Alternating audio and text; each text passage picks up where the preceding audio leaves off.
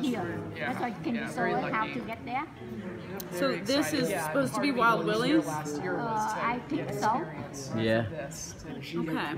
So So I don't have information on these hot springs because they're not on public land. They're on the Department of LA Water and Power land. How about do we have anything look like this around You here? know, it's doing Yeah, there great are right there now. are hot springs to the north uh, by the town of Bridgeport called Travertine um, Tubs. I can give you directions to that if Yeah. from, last year's winter. Last year, kia about four ở trăm mươi cái gì đó ở trong em Cái gì ở trong Benton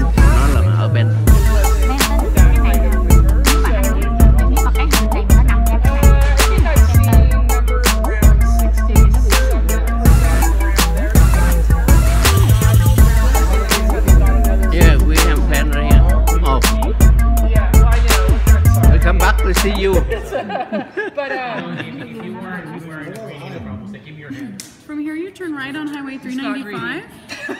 we need